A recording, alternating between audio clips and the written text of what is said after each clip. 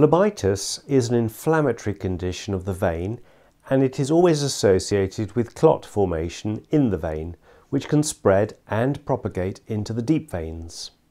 These clots can break loose and travel around the lungs. Some studies suggest that up to a third of people with phlebitis will develop clots in the lungs based on careful lung scans.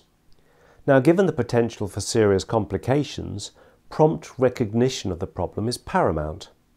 The commonest vein to be affected is the great saphenous vein on the inner part of the thigh. The overlying discoloration of the skin marks out the course of the inflamed vein underneath.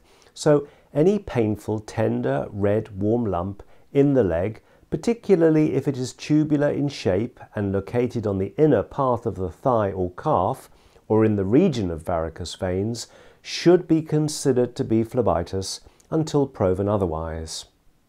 Now, the only way to be absolutely sure you either have or have not got phlebitis is to have a duplex ultrasound scan.